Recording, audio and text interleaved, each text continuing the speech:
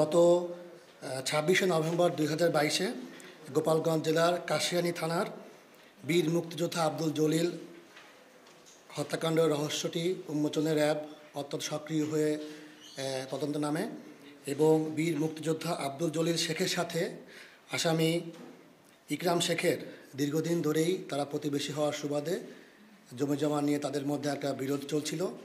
এরই ধারাবাহিকতায় গত ছাব্বিশে নভেম্বর সন্ধ্যা আনুমানিক সাতটা পঞ্চাশ ঘটিকার সময় বীর মুক্তিযোদ্ধা আব্দুল জলিল শেখ, তিনি গোপালগঞ্জ জেলার কাশিয়ানী থানাধীন গেরাখোলা এলাকায় পৌঁছালে ওখানে একটি পাশের আম বাগানে লুকিয়ে থাকা অবস্থায় পাঁচ সাতজন সন্ত্রাসী, ধারালো অস্ত্র, রামদা এবং দেশীয় অস্ত্রশস্ত্রে সজ্জিত হয়ে এই বীর মুক্তিযোদ্ধা আব্দুল শেখের উপরে আক্রমণ চালায় এবং তাকে এলোপাথারি কুপিয়ে মারাত্মকভাবে জখম করে।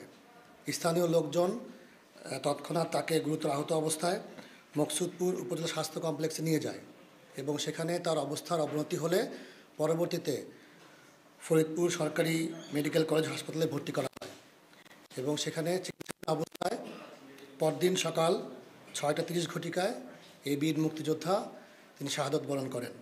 বিষয়টি সে সময়ে বিভিন্ন পত্রপত্রিকা ও মিডিয়াতে অত্যন্ত আলোড়ন সৃষ্টি করে এবং তখন র্যাব এই বিষয়টি তদন্ত নামে এবং অত্যন্ত দক্ষতার সাথে এই আসামিকে র্যাব দশের সহযোগিতায় গতকাল একত্রিশ জানুয়ারি সকাল ছয়টা পনেরো ঘটিকার সময় ঢাকা জেলার।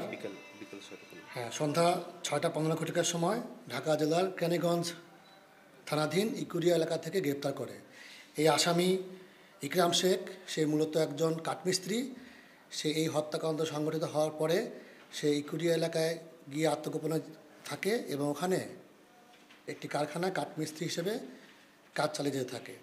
র্যাব দশ এবং র্যাব ছয়ের সহযোগিতায় আমরা প্রযুক্তিগতভাবে এবং ম্যানুয়ালি অভিযান পরিচালনা করে তাকে আমরা গ্রেপ্তার সক্ষম হই এবং এই আসামিকে এখন আইনানুগ ব্যবস্থা হিসেবে তাকে থানায় হস্তান্তর সহ তার বিরুদ্ধে প্রয়োজনীয় ব্যবস্থা গ্রহণ করার কাজটা চলমান রয়েছে।